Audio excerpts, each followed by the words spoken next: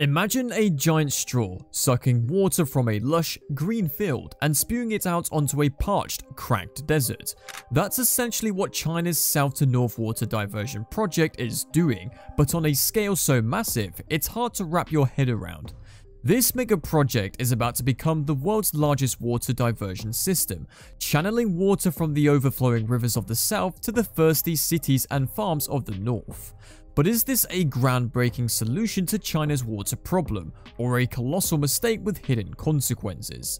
Join me on a journey down this watery rabbit hole, where we'll explore the ambitious goals, hidden costs, and uncertain future of this mega water project.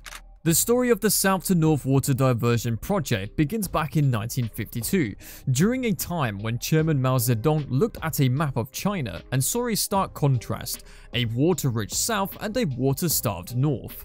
This disparity sparked a visionary thought. The south has plenty of water and the north lacks it, so if possible, why not borrow some? From that simple idea, a seed was planted, but it took decades for that seed to germinate and grow into the mega project we see today. Studies, surveys, and debates filled the years as engineers grappled with the immense technical challenges of moving water across vast distances and towering mountains. Finally, in 2002, the project received the green light. Construction began on the Eastern Route, a 1,150 kilometer canal system that would divert water from the mighty Yangtze River.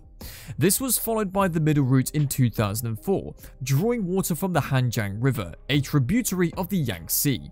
The ambitious Western Route, aimed at transferring water from the Tibetan Plateau to the northwest, is still under development. But amidst the excitement, voices of concern began to rise. Environmentalists warned of potential ecological damage, while communities along the routes feared displacement and disruption of their lives. These voices continue to be heard, reminding us that the path to progress is rarely without its challenges.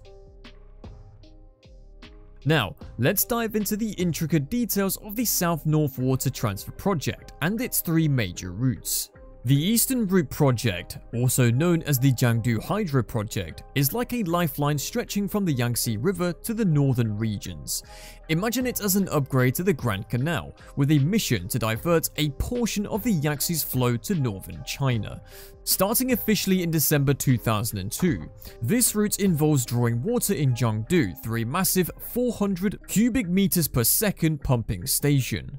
As the project advances, the volume of water diverted northward is set to increase significantly from 8.9 cubic kilometers per year to 14.8 cubic kilometers per year. However, construction faced challenges and water pollution impacted the viability of the route. Originally intended to provide water for provinces like Shandong, Jiangsu, and Hebei, the eastern route faced delays, Despite these hurdles, water began reaching Shandong in 2014, with expectations of transferring 1 cubic kilometer annually by 2018.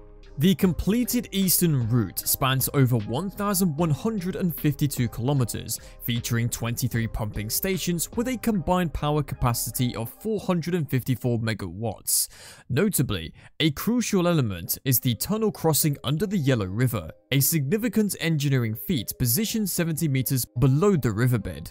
Colloquially known as the Grand Aqueduct, the central route flows from the Danjiangkou Reservoir on the Han River to Beijing. This massive undertaking involved raising the Danjiangkou Dam's height, allowing water to flow downhill naturally, pulled by gravity through the canals. The route spans 1,264 kilometers, with the central challenge being the construction of two tunnels under the Yellow River to facilitate the canal's flow. Beginning in 2004, the northern stretch of the central route was completed in 2008 at a cost of $2 billion. However, the project faced challenges, including the impact on the Han River's ecosystem and the resettlement of around 330,000 people. Completed in 2014, the Grand Aqueduct initially provided 9.5 cubic kilometers of water annually, with future plans to increase this to 12 to 13 cubic kilometers per year by 2030. To safeguard water quality, industries are prohibited from locating on the reservoir's watershed. The western route, though still in development, holds the ambitious goal of transferring water from the Tibetan Plateau to the northwest. This leg involves diverting water from three Yangtze tributaries near the Bayankala mountain to provinces such as Qinghai, Gansu, Shaanxi, Shanxi, Inner Mongolia and Ningxia. While plans include diverting water from upstream sections of rivers like Mekong, Yarlung Zangbo, and Salween, this route's enormity and cost have posed challenges. Additionally, its transboundary nature could impact neighboring countries in South and Southeast Asia. As the colossal South-North Water Transfer project forged ahead, the financial currents proved as tumultuous as the engineering challenges it sought to overcome. In 2008, the projected cost for the eastern and central routes surged to a formidable 254.6 billion yuan, or $37.44 billion. However, the government's commitment at a mere 53.87 billion yuan, approximately $7.9 billion, barely scratched the surface of this financial behemoth. Breaking down the financial puzzle, the central government and special accounts contributed 26 billion yuan, local governments chipped in 8 billion, and loans added almost 20 billion yuan. Yet, this budgetary allocation only hinted at the financial hurdles that lay ahead. By 2008, a modest 30 billion yuan had coursed through the veins of the eastern and central routes. The eastern route sipped 5.66 billion yuan, while the central route gulped a more substantial 24.82 billion yuan. However, this was a mere preview of the financial odyssey that lay ahead. The financial narrative of the project was far from static, it mirrored the dynamic complexities of the construction. The initial figures quickly became outdated as the projects unfolded, demanding a constant reassessment of financial commitments. The cost of escalation underscored the intricate dance between budget constraints and the insatiable appetite of a project of this magnitude. Navigating the financial tributaries of this mega project required finesse. Balancing government allocations, local contributions, and loans was no easy feat. The financial story of the South-North Water Transfer project is not just about numbers, it's a testament to the delicate balance needed when managing resources, both financial and natural, on an unprecedented scale. While the South to North Water Diversion Project boasts impressive engineering and ambitious goals, it has also attracted significant criticism and raised crucial questions about its environmental impact and social cost. The project's construction has displaced at least 330,000 people in central China, disrupting their lives and livelihoods. Critics argued that relocations were not always voluntary, with reports of villagers forced into signing agreements and inadequate compensation.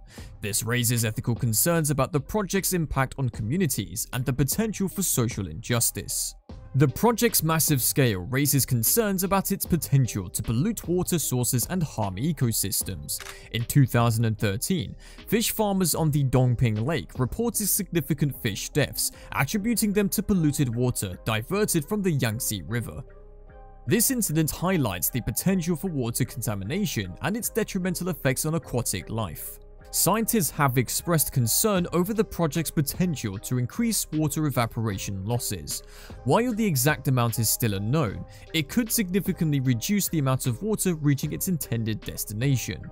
This highlights the need for further research and careful management to optimize water use and minimize losses.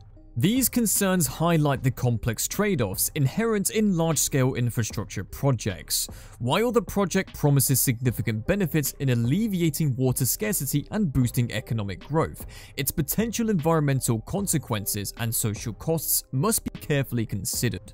Finding a balance between progress and sustainability is key, this requires robust environmental impact assessments, transparent decision-making processes, and adequate compensation and support for displaced communities. Only then can the project achieve its goals without compromising the well-being of people and the environment. And there you have it, a journey through China's South-North Water Transfer Project, a marvel of engineering and a testament to the intricacies of balancing nature and progress.